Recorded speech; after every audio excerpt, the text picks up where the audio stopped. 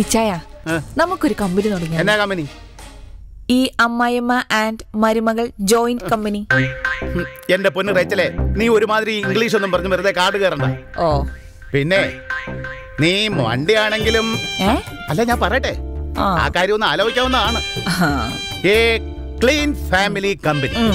പ്രശ്നങ്ങളിൽ പെട്ടിരിക്കുന്ന അമ്മായി അമ്മമാരെയും മരുമക്കളെയും ഒരു സൈക്കോളജിക്കൽ അപ്രോച്ചിലൂടെ ഒന്നാക്കുന്ന കമ്പനി. Correct. അപ്പൊ അമ്മായിപ്പന്മാരിൽ നിന്നും മക്കളിൽ നിന്നും നല്ല സപ്പോർട്ടായിരിക്കും ഈ കമ്പനിക്ക് എന്തായാലും എനിക്ക് വിശക്കുന്നു. പന്നിയിറച്ചിയുടെ രണ്ട് കഷ്ണം കിട്ടിയിരുന്നെങ്കിൽ എനിക്കൊരു ടച്ചിങ് ആക്കാമായിരുന്നു. വെള്ളം അടിച്ചു കഴിഞ്ഞാൽ കൊന്നു കളയും ഞാൻ. പറഞ്ഞേക്കാം. എടി സത്യമായിട്ട് വെള്ളം അടിക്കാനല്ല. വെള്ളം അടിച്ച പോലെ അവരുടെ മുമ്പിൽ അഭിനയിക്കാനായിട്ടല്ലേ? അവർ സീനിയർ സിറ്റിസൺ അല്ലേ ചെയ്യാ വല്ല കേസും കൊടുത്താലോ? വക്കീലിനോടാണോടാ കളി ഞാൻ ഒരു ഒറ്റ ചോദ്യം അങ്ങോട്ട് ചോദിക്കും. സീനിയർ സിറ്റിസൺസിന്റെ റൈറ്റും റൂളും ഒന്നും എന്നെ ആരും പഠിപ്പിക്കണ്ട. I am an advocate. ഈ സാമി ചേട്ടൻ ഫോൺ എടുക്കാത്തോടത്തോളം കാലം. സാമി ചേട്ടനോട് നമ്മൾ താമസിക്കാൻ വരുമെന്ന് പറഞ്ഞിടത്തോളം കാലം നമുക്ക് ഒരു ടെൻഷനും വേണ്ട. ആ എടി അങ്ങനെ എന്തെങ്കിലും ഒരു ക്രിട്ടിക്കൽ സ്റ്റേജ് ഉണ്ടായാൽ അപ്പൊ നമ്മൾ ഇറക്കിയല്ലേ സാമി ചേട്ടനെ നരസിംഹമായിട്ട് ഇപ്പം നമ്മളോട് ഉടക്കിയവരെ എന്തുപായം ഉപയോഗിച്ചാണ് പുറത്താക്കാൻ പോകുന്നതെന്ന് നീ ഒന്ന് ചിന്തിച്ചു നോക്കിക്കേ. അതിന് നമ്മൾ രണ്ടു ദിവസം കഴിഞ്ഞ് പോകുന്നല്ലേ അവർ വിചാരിച്ചിരിക്കണത്? ഓ എന്റെ കർത്താവേ എവിടെ കൂടെ കൂടി ഞാനും മന്ദബുദ്ധിയായി പോകാന്നാ തോന്നുന്നേ ദേ എന്നെ അങ്ങനെ കൊച്ചാക്കൊന്നും വേണ്ട. എന്റെ വക്രബുദ്ധി ഇല്ലായിരുന്നെങ്കിലേ നിങ്ങൾ പല ചുറ്റിക്കെട്ടിലും പെട്ട് വരച്ചേനെ. എടി നമ്മൾ എന്തായാലും ഒന്ന് കരുതിയിരിക്കണം. പണിപ്പാലും വെള്ളത്തിലും വരാം ജാഗ്രതേ. പറഞ്ഞത് ശരിയാ. നീർക്കോലി കടിച്ചാലും അത്താഴം മുടങ്ങുമല്ലോ എന്തൊക്കെ ടെൻഷന്റെ പുറത്താ നമ്മൾ ഈ കാര്യത്തിന് ഇറങ്ങിയത്. അവരാ ഐ വി എഫിന് പൈസ ചോദിച്ചില്ലായിരുന്നെങ്കിൽ നമ്മൾ ഈ കാര്യത്തിന് വരുമായിരുന്നു. ആ എന്തായാലും അവർക്ക് ഒരു ലക്ഷം കിട്ടിയപ്പോ നമുക്കും കിട്ടിയില്ലേ ഇച്ചായ ഒരു ലക്ഷം? ആ ഭാഗ്യം വേണം മനുഷ്യനെന്ന് പറയുന്നത് ഇതാ. ബുദ്ധിയും വേണം എന്നെ പോലെ. റേച്ചലേ. ഈ പന്നിമാറ്റർ അത്ര അങ്ങോട്ട് ഏക്കുമെന്ന് എനിക്ക് തോന്നുന്നില്ല. ഇച്ചായ ഈ പന്നി ഒരു തുടക്കം മാത്രമല്ലേ? ഇവരെ പുറത്ത് ചാടിക്കാൻ ദൈവം തന്നെ ഒരു വഴി പറഞ്ഞു തരും. നമ്മൾ ഇങ്ങോട്ട് വരുത്തേണ്ട ആരെങ്കിലും ഉണ്ടോ എന്നൊന്ന് ആലോചിക്കണം. ബോസാർ നല്ല ടെൻഷനില്ല അദ്ദേഹത്തിന്റെ ഭാര്യയും മക്കളും പറയുന്നത് പോലെ ഇനി വല്ല മാനസിക പ്രശ്നവും അദ്ദേഹത്തിന് ഉണ്ടായിട്ടുണ്ടോ? ഏ എന്തായാലും ഡോക്ടർ സജീവിനോട് ഞാൻ കാര്യങ്ങളൊക്കെ പറഞ്ഞിട്ടുണ്ട്. അദ്ദേഹം അതിന് വേണ്ട വഴികളൊക്കെ ഉണ്ടാക്കും ഉറപ്പാ. ഓക്കെ. പിന്നെയുള്ളത് നമ്മുടെ അമ്മച്ചി സഹോദരങ്ങളാ. അവർ ഈ പ്രശ്നത്തിലേക്ക് വലിച്ചഴിക്കണോ? പക്ഷേ ഇവരെ ഒതുക്കാൻ നമ്മൾ ആരെങ്കിലും ഇറക്കിയേ പറ്റൂ. ഇച്ചായ ഇവരുടെ മരുമകളെ നമുക്ക് ഇങ്ങോട്ട് എടി, മരുമകളെ ഇങ്ങോട്ട് വരുത്തിയ ഇവരെ എങ്ങനെയാ പെരുമാറുന്നത് നമുക്ക് അറിയാൻ പറ്റത്തില്ലല്ലോ?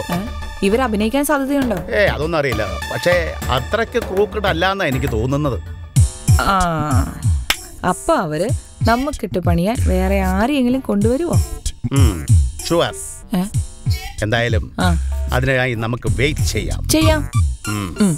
ഇതിങ്ങനെ വിട്ടാ പറ്റൂല. നമുക്ക് നാദിറേയും ജഹാംഗീറിനെ ഇറക്കാം. ഏത്? ആ സുഡാപ്പി ജഹാംഗീറിന്. അവരും നാദിറേയും വന്നാ ഈ ഹിമാറുകളെ അടിച്ചൊതുക്കി കെട്ടുകെട്ടിക്കും. ഉറപ്പാ. എന്നാ വിളിക്കാ സുഡാപ്പീനെ? ചിലപ്പോ അടിയിടി നടക്കാൻ സാധ്യതയുണ്ട്. തൽക്കാലം നമുക്ക് ഇവിടുന്ന് ഇങ്ങോട്ട് മാറില്ല അതാ നല്ലത്. ചെലപ്പോ കത്തിക്കുത്തുണ്ടോ? അതുകൊണ്ടേ ഈ പ്രായത്തിൽ ജയിലിൽ പോയി കിടക്കാൻ എന്നെ കൊണ്ട് വയ്യ. നിങ്ങൾ പറഞ്ഞതുപോലെ നമുക്ക് തൽക്കാലം ഇവിടുന്ന് നിന്ന് മാറി നിൽക്കാം. ഒടുവിൽ ആദ്യമായിട്ട് എന്റെ അഭിപ്രായം എതിരില്ലാണ്ട് പാസ്സാക്കിയല്ലോ എന്റെ റബ്ബേ. റേച്ചലേ എന്തായാലും പ്രതീക്ഷിച്ചതിന് മുമ്പേ അവർ പമ്പ കടന്നു. അതുകൊണ്ട് സാമിച്ചേട്ടനെ വിളിച്ചു പറഞ്ഞിട്ട് നമുക്ക് നാളെ തന്നെ സ്ഥലം വിട്ടാലോ? ആ എന്നാ പിന്നെ നിങ്ങൾ എത്രയും പെട്ടെന്ന് ആ, അതാ നല്ലത്.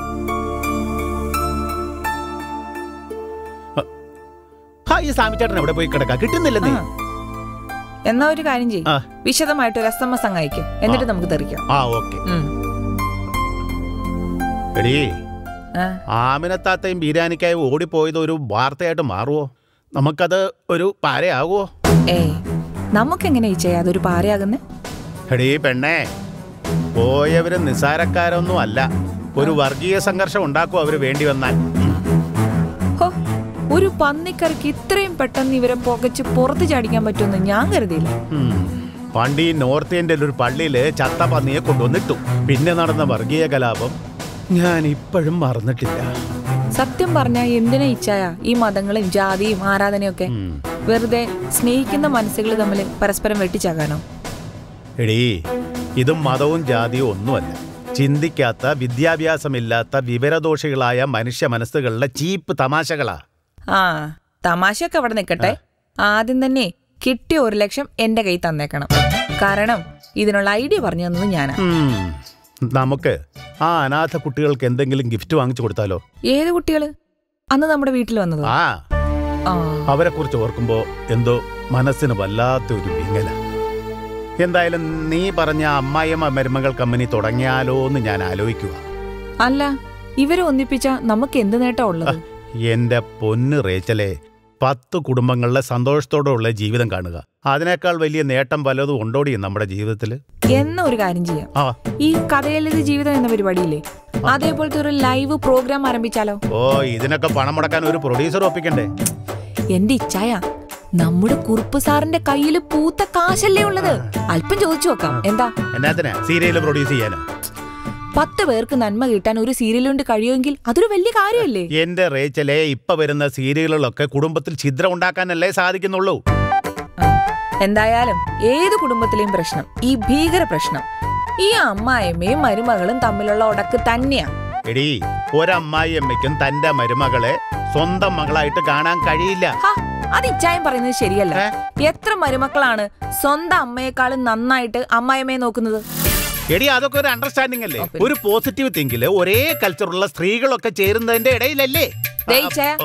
ഞാൻ പലപ്പോഴും പറഞ്ഞിട്ടുണ്ട് കുടുംബ സംഭാഷണത്തിന്റെ ഇടയിൽ ഇംഗ്ലീഷ് കുത്തിക്കയറ്റരുതെന്ന് എടീ അതിന് പഠിക്കാൻ വിട്ടപ്പോ പശുവിന് കാടി കൊടുക്കാൻ പോയതിന് ദൈവം തന്നെ ഞാനൊന്നും പറഞ്ഞില്ല. അതെ ഞാൻ ഇനി മുതൽ ഒരു സ്പോക്കൺ ഇംഗ്ലീഷ് ക്ലാസ്സിൽ പോവാം. എനിക്കും പഠിക്കണം ഇംഗ്ലീഷ് എന്നാ ഒരു കാര്യം ചെയ്യും. ഒരു ലേഡി ഇംഗ്ലീഷ് ടീച്ചറിനെ ഞാൻ നിനക്ക് ഇവിടെ ഏർപ്പാടാക്കാം. ഇംഗ്ലീഷ് പറഞ്ഞുതരാൻ? എന്തിനാ ലേഡി ടീച്ചർ പുരുഷ ടീച്ചർ ആയാലും എന്താ കുഴപ്പം? ആ എടി കുഴപ്പമൊന്നുമില്ല. നിനക്ക് ഒരു ചമ്മൽ ആദ്യം ഉണ്ടായാലോ എന്ന് കരുതിട്ടാ എന്തായാലും ഇംഗ്ലീഷ് മാത്രമല്ല എനിക്ക് അറബിയും പഠിക്കണം. അയ്യോ അതിമോഹം ഒന്നും വേണ്ട അറിയത്തില്ലേ മലയാളം തന്നെ നിനക്ക് മര്യാദയ്ക്ക് സംസാരിക്കാൻ അറിയത്തില്ല. പിന്നെ അല്ലേ ഇംഗ്ലീഷും അറബി. എന്റെ ഇച്ചായ ഭാഷ പഠിക്കണമെങ്കിൽ അത്ര വലിയ പഠിപ്പൊന്നും വേണ്ട. നമ്മുടെ മേഴ്സി ടീച്ചറിന്റെ വീട്ടിൽ അലക്കാനും തേക്കാനും ഒക്കെ വരുന്ന രാമചേട്ടൻ സ്കൂളിന്റെ പടിവാതിൽ പോലും കാണാത്ത ആളാ. എന്നിട്ട് അയാൾ മണി മണിയായിട്ട് ഇംഗ്ലീഷ് പറയുന്നത് കേട്ടു എടി അതിന്റെ കാര്യം അയാൾ അമേരിക്കയിൽ ടീച്ചറിന്റെ കൂടെ പോയതുകൊണ്ടല്ലേ? എന്നൊരു കാര്യം ചെയ്യും. ഇച്ചായൻ എന്നെ വല്ല അമേരിക്കയിലേക്കോ ലണ്ടനിലേക്കോ അയക്കും. പിന്നെ അലക്കാനും തേക്കാനും ആവരുതെന്ന് മാത്രം. അയ്യോ അല്ലാതെ നീ അവിടെ പോയിട്ട് എന്നാ ചെയ്യാനാ? ഞാനേ നല്ലൊരു തട്ടുകട അങ്ങ് തുടങ്ങും. നല്ല പോർക്ക് വിന്താലും ചെമ്മീൻ റോസ്റ്റും ചൂരാച്ചാറും ഒക്കെ വിൽക്കുന്ന വലിയൊരു തട്ടുകട. റേച്ചലേ നിനക്ക് ബുദ്ധി എന്ന് പറഞ്ഞ സാധനം ഇല്ലെങ്കിലും പ്രാക്ടിക്കൽ സെൻസ് ഉണ്ട് ഏത് നാട്ടിൽ പോയാലും നീ ജീവിക്കും. പട്ടിണി കിടക്കുകയേ ഇല്ല. ഒരു മനുഷ്യന് ആദ്യം വേണ്ടത് യാഥാർത്ഥ്യ ബോധമാണ് അല്ലേ. ആ. ലോകത്തിലെ ഏറ്റവും വലിയ കോടീശ്വരന്മാരിൽ ഭൂരിഭാഗവും വിദ്യാഭ്യാസം ഇല്ലാത്തവരാ റേച്ചലേ അപ്പോ നിനക്കും ഒരു സ്കോപ്പ് ഉണ്ടെന്ന് അർത്ഥം. കോപ്പോ സ്കോപ്പ് അല്ലടി. സ്കോപ്പ് സ്കോപ്പ് സിനിമാ സ്കോപ്പ് അതെ. ഏതായാലും രണ്ടു ദിവസത്തിനുള്ളിൽ ഇവരെ നമുക്ക് ഓടിക്കാൻ പറ്റിയെങ്കിൽ ഈ നുഴഞ്ഞു കയറുന്ന പാകിസ്ഥാൻകാരെ ഓടിക്കാൻ എന്താണ് ഈ പട്ടാളക്കാർക്ക് ഇത്ര വലിയ കഷ്ടപ്പാട്? എടി അവിടെ നമ്മളെ പോലെ നാക്കല്ല ആവശ്യം. തോക്ക. നല്ല എ കെ ഫോർട്ടി സെവൻ തോക്ക്. തൊട്ടാൽ നൂറെണ്ണത്തിനെ തീർക്കുന്ന യന്ത്ര തോക്ക്. ഹോ എന്റെ ഇച്ഛായ സാരേ ജഹാംസെ അച്ച ഹിന്ദു സിത്തൻ ഹമാര എന്ന് പറഞ്ഞാൽ എന്തുവാ.